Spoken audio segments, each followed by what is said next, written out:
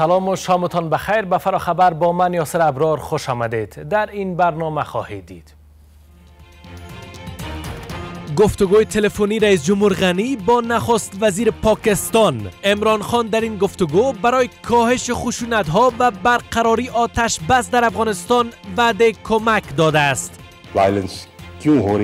خواهش ما این است که خشونت ها کاهش یابند. اما این تنها مسئولیت طالبان بوده نمی‌تواند. همه طرف ها باید مسئولیتشان را ادا کنند. همزمان با این وزیر خارجه پاکستان می‌گوید که کاهش خشونت ها تنها مسئولیت طالبان نیست و انداختن همه بار بر دوش طالبان برعکس حقیقت است.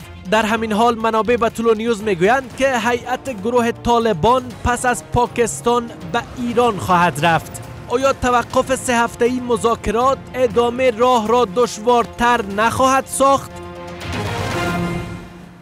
در این باره با مهمانان برنامه آقای ادریس رحمانی پژوهشگر روابط بین که از امریکا به برنامه پیوستن با آقای لطیف محمود رئیس مرکز رسانه‌های حکومت که در استودیو حضور دارن بحث می‌کنه. مهمانان بسیار خوش آمدن.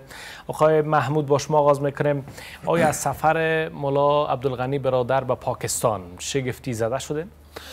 عرض سلام ارادت دارم خدمت شما خدمت آقای رحمانی و خدمت بینندگان ورجاوند تلویزیون وزین تلونیوس چنانچه مستحضر است این صلح یک پروسس. این پروسه نیاز به گام های چند جانبه داره. نخیر همونطور که در اعلامی وزارت خارجه جمهوری اسلامی افغانستان باستاب پیدا کرد دولت جمهوری اسلامی افغانستان از سفر هیئت سیاسی طالبا به پاکستان. آگاهی داشت؟ یا آگاهی را کی به شما داده بود؟ سفر چند روز پیش؟ اجازه می‌خوام بله. سفر را که آقای امران خان به افغانستان داشت در او سفر تعهدات را پاکستان برای افغانستان به صراحت داشت که بخش از او تعهدات نفوذ پاکستان بر مخالفین مسلح یا طالبان است. تا همونطور که می‌دانید طالبان در خاک پاکستان به سر می‌برند و پاکستان از نفوذ کلان بالای طالبا برخوردار است. من مشخصا درباره همین سفر می‌پرسم. این اطلاع را کی به شما داده بود؟ چی وقت اطلاع داده بود؟ و این اطلاع چه رقم بود؟ و شما گفتن که دعوت می‌کنیم یا از شما مشوره خواستن که دعوت کنیم یا نکنیم؟ حیات طالبا را. آیت طالبا که به پاکستان رفت خدمت شما عرض کردم در اثر یک تفاهمی که بین رهبرای افغانستان و پاکستان در نتیجه سفر امران خان به افغانستان بود.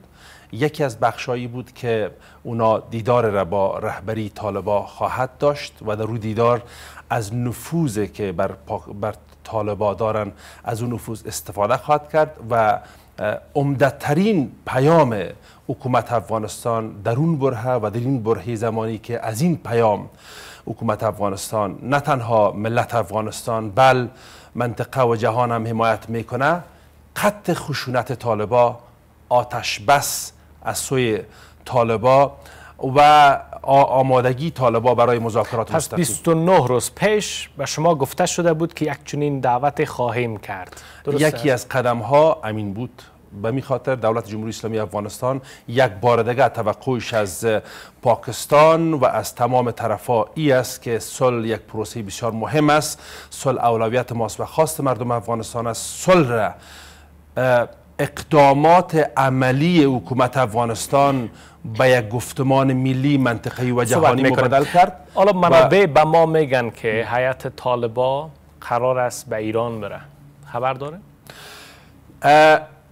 ببینین ما خدمت شما عرض کردم میره باید شما از سخنگوی طالبا بپرسین. ما در شما ادعا دارین که در جریان سفرها هستین. عرض می‌کنم خدمت شما. ببینین بحث صلح افغانستان یک بحث تنها مربوط به افغانستان نیست. یک بحث مربوط به منطقه ایران با شما مشوره کرده در این باره یا نه؟ در صحبت هایی که ما با کشورهای همسایه داریم تمام کشورهای همسایه به این باور است که خشونت به نفع افغانستان و به نفع منطقه نیست. هر یک از کشورهای همسایه توقع ما هم این است که با توجه به روابط و آقای محمود ما از شما پرسیدم که حیات طالبا منابع به ما میگن که به ایران میره. در جریان هستن؟ خب ما از این منابع شما خبر نیستم در جریان هستن. حکومت افغانستان در جریان است یا نیست؟ حکومت افغانستان از سفر حیات طالبا به پاکستان در جریان است. ایران چطور؟ و هر قدمه که تکرار می‌کنم خدمت شما. شاید سفرهای بعدی در چند نقطه دیگه هم صورت بگیر از طرف تمام طرف های داخل در جنگ صلح افغانستان. ولی توقع کلان ما آقای برار این است که هر قدمی که برداشته میشه باید صادقانه باشه به منظور قطع خشونت باشه. درست پس شما از این سفر که قرار است انجام شود در جریان نیستین. چیزی که تکرار با شما. می‌تونه برداشت شما باشه. شما واضح میگین دیگه. اگر در جریان هستین چی وقتی سفر اجازه انجام میشه؟ آیا ایران با شما صحبت کرد؟ نه خیر. خب. هنوز هنوز این سفر اتفاق نفتاده بدون شک هر قدمی که برداشته میشه پیش از او قدم تلاش های چند جانبگرا و همه جانبه کشورهای همسایه و افغانستان و کشورهای کلانه که در امر صلح و جنگ افغانستان زیدخل است این است که خط جنگ آتش بس و رفتن به مذاکرات آقای رحمانی هیئت جمهوریت به کابل آمد ولی هیئت امارت به اسلام آباد رفت. از عینک دیپلماسی ای چی معنا میته؟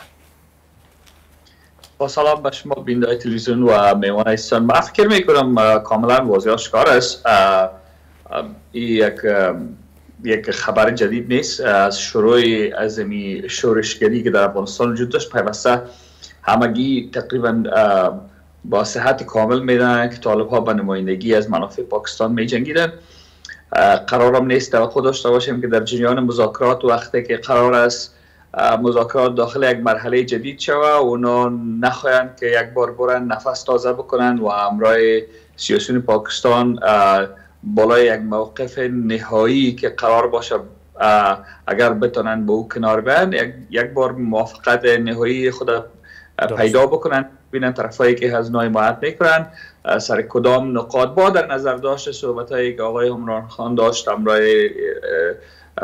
تمام مسئولین در کابل من مطمئن هستم که می‌خواین یک بار دیگه چک بکنن و ببینن که آیا هنوز هم می‌خواهیم که برویم پیش و اگر می‌رویم با کدام نقاط می‌تونیم تا حد کوتاه بریم کدام نقاط نرویم و یک نکته مهم دیگه هم است که من فکر می‌کنم دولت بسیار زیاد بدون از اینکه اعلان بکنه از کارت کشتن تایم استفاده می‌کنن با فکر از که احتمالا اگر تا ختم حکومت آقای ترامپ بتانیم میره معطل بکنیم شاید بعد از او یک موقف بهتر در میز مذاکره داشته باشیم.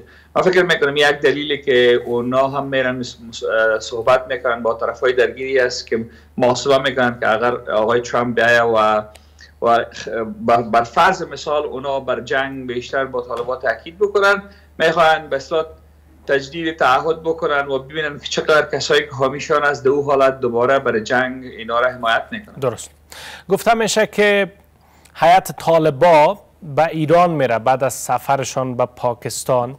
این سفرها جدا از اینکه چی معنا داره آیا رسیدن به صلح را آسان می سازه یا نه؟ دشوار و دست نیافتنی. روی روند چی تاثیر داره؟ فکر می‌کنن.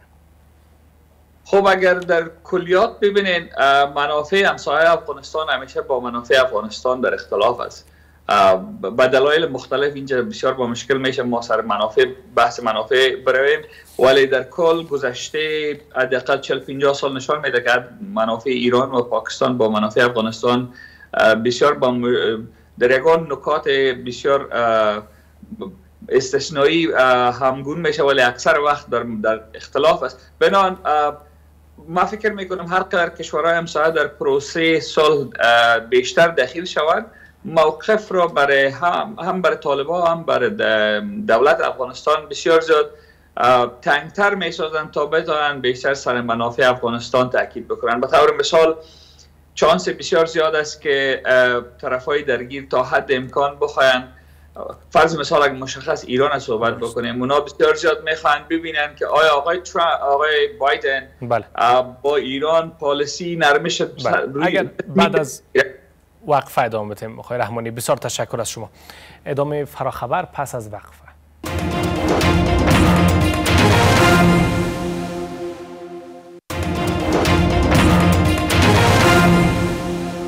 ادامه فراخبر خوش آمدید. آقای رحمانی بفرمایید ادامه حرفای شما. می خواستم بگویم که ایرانی ها احتمالا در این مقطع از زمان بسیار علاقمند هستند بدانند که آیا امریکایی ها با حکومت جدیدشان با ایران سر نرمش دوباره آغاز می‌کنن نمی‌کنن؟ و اگر ببینند که نمی‌کنن حضور طالب ها در افغانستان و حمایت طالب ها یکی از آله های فشار است که ایرانی ها می‌تونن داستزو واشنگتن را فشار بدن. بنابراین من مطمئن هستم بر از هم بسیار زیاد بد نخواهد بود. در این مقطع از زمان با طالبان در, در, در, صحبت باشن در جریان باشن و اگر بتانن تا حد امکان تشویقشان بکنن که بگذارید ببینیم حکومت جدید به چی می‌کنه چون حکومتی که فعلا قرار است سرخانش جمع شود با او اگر اگر تمام امتیاز صلح برش بتینم هم قدرت فایده بر شما نمیرسانه درست. برمیگردیم به شما آقای محمود. جان گپ تماس تلفنی آقای غنی با آقای امران خان چی بود جدا از گپ های مطبوعاتی؟ کاهش خشونت آتش بس و تسریع روند صلح. پاکستان بار دیگر تجدید تعهد کرد در صحبت تلفنیش با رئیس جمهور غنی که گام های عملی را در راستای آوردن صلح برمیداره. توقع ما از پاکستانی است. پاکستان در سیاست های اعلامی خود پیوسته تلاش کرده که نقش تاثیرگذار بر گروه های تروریستی به خصوص طالبا بله. داره. اما در عمل امیر می‌خوایم بپرسم چون 29 روز پیشم امران خان وقتی به کابل آمد همین گپایی را که شما گفتین گفت. بسیار واضح. حتی گفت که زمان سفرش را به این دلیل انتخاب کرده که خشونت ها در افغانستان افزایش یافته. پاکستان هر چه در توان دارد برای کمک به کاهش خشونت ها که منجر به آتش بس شود انجام می‌دهد. ولی تنها در ماه نوامبر 244 نظامی و 200 ملکی در افغانستان جان باخته. این گپ های پاکستانی ها یک فریب است. شما نمی‌فهمید؟ ببینین ما می‌فهمیم. دولت افغانستان استخبارات داره امنیتی ملی داره هر لحظه هر حرکتی که در هر کجای صورت بگیره اطلاعات دقیق استخبارات و نیروهای امنیتی و کشفی افغانستان داره. ببینین در سیاست خارجی اصل بر منافع است. اما تو که آقای رحمانی گفتن منافع مشترک تعریف کننده ماهیت روابط میان کشورهاست. کشورهای همسایه برخی اوقات با اعمال خشونت به منافع خود می‌پردازه. برخی اوقات با رویکردهای نرم و سیاست های اعلامی می‌خواه نمایش هایی را داشته باشه. اما توقع افغانستان بخصوص از پاکستان در این برهه اساس زمانی این است که تداوم خشونت نه به نفع افغانستان است نه به نفع پاکستان نه به نفع منطقه است و نه به نفع جهان.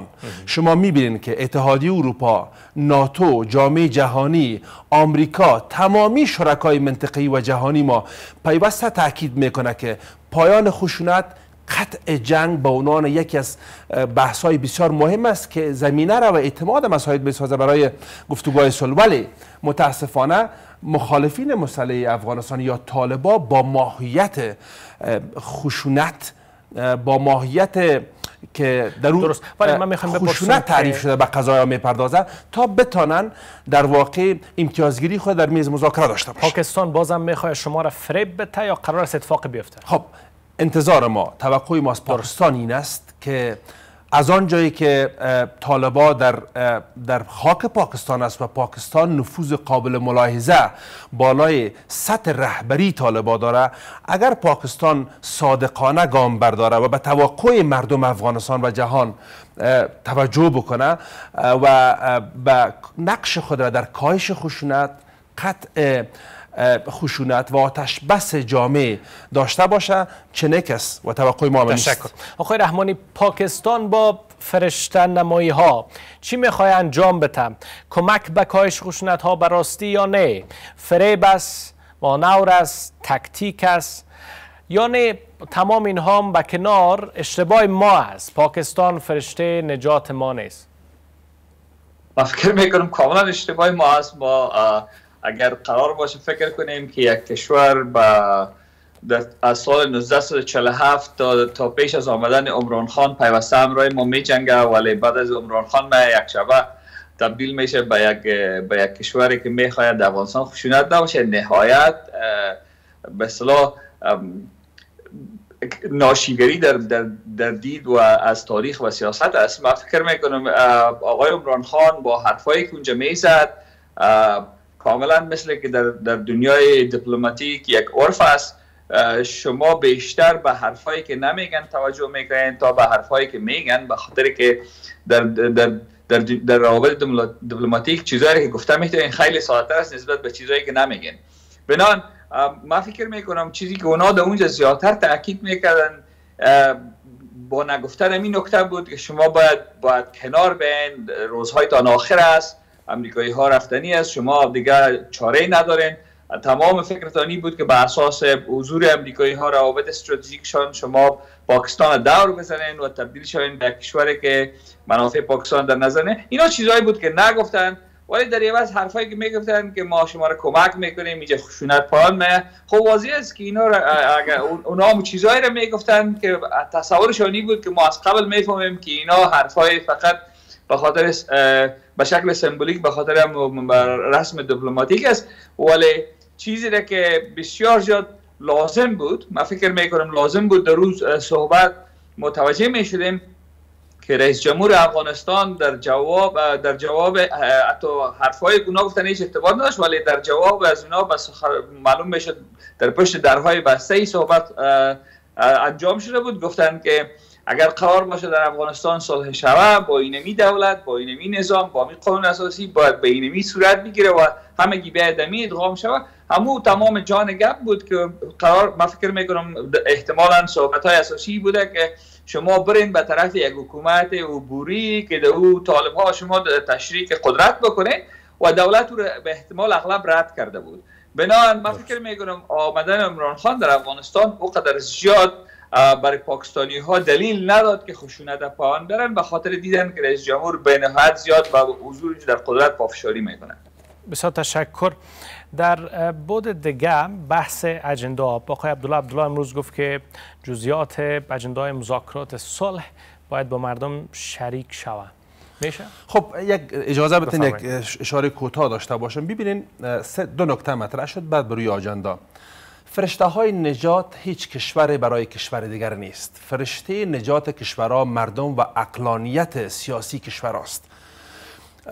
دولت جمهوری اسلامی افغانستان با اقلانیت جمعی که در رهبری دولت افغانستان در بین مردم است و به عنوان یک کشور مستقل به عنوان یکی از تابعان نظام بین الملل میدانه که در کجا با روی کردهای واقع گرایانه و مبتنی بر منافع استراتژیک خود گام برداره فرشته های نجات ما و شما هستیم. نه دیگرا یک دو بحث اداره عبوری یا حکومت موقت یک خیال واهی و خیال مزهک است برای برخی از جریان ها و چهره های واپسگرای قرون استایی.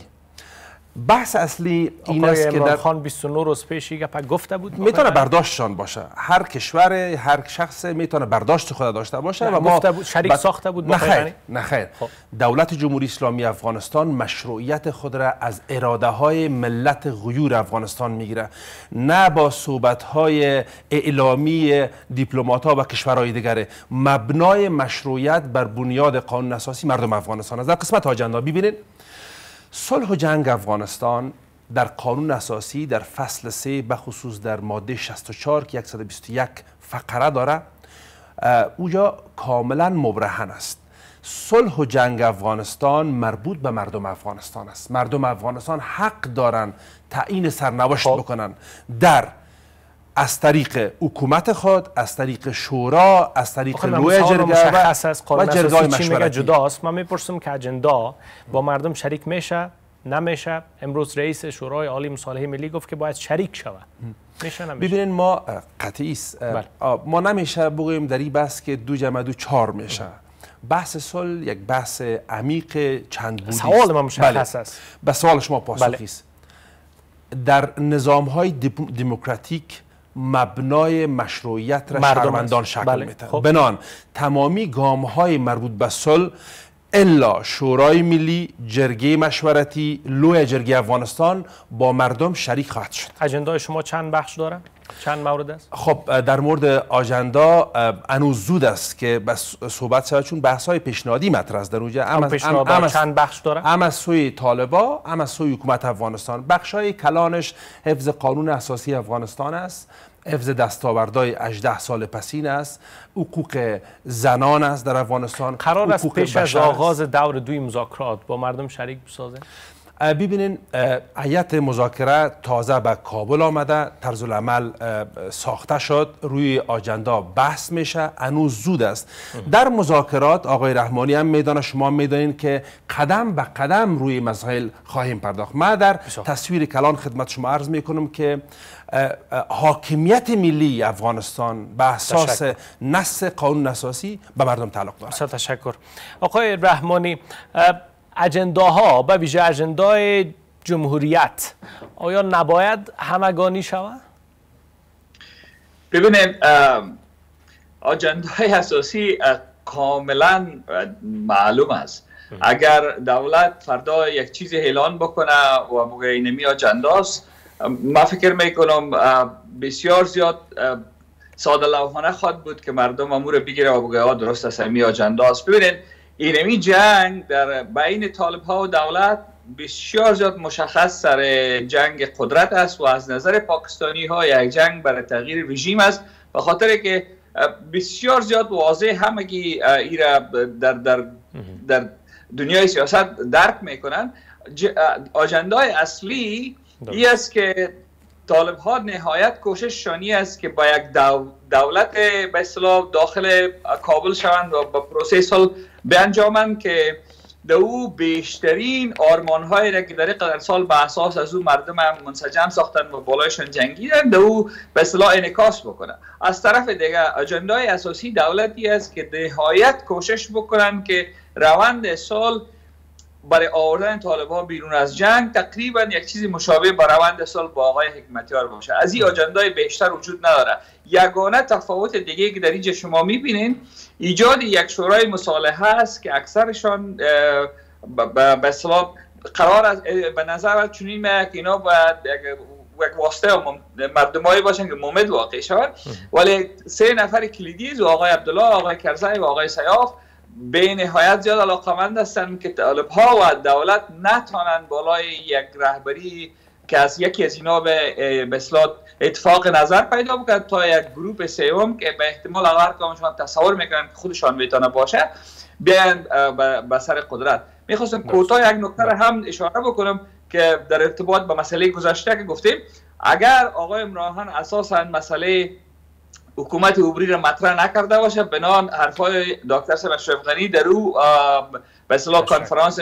مطبوعاتی بله. مشترک همراه عمران خان نهایت اشتباه بود که یک چیزی را. سیگنال دادن که بله. جز مذاکره نبود بسیار تشکر در حد 20 ثانیه مکان دور دوی مذاکرات بر شما شرط است که در داخل افغانستان باشه ببینین افغانستان خانه مشترک افغان است بله. طالبا اگر این بحث را می‌کنه که در افغانستان حضور دارن و در این خطه نفوذ دارن پس بهترین جا برای مذاکره همونطور که رئیس جمهور افغانستان در جلسه کابینه به صراحت گفت و با قوت صحبت های مشاور امنیت ملی افغانستان را تایید کردن بله افغانستان مکان مناسب و مکان وجود اول شرط است یا نیست؟ عرض می‌کنم خدمت بله. شما افغانستان. یک مکان درست. بسیار خوب برای مذاکرات افغانی است درست ولی من پاسخ نگرفتم آیا شرط است یا نه سپاسگزار حضور مهمانان برنامه و تشکر از بیننده های فراخبر شب بخیر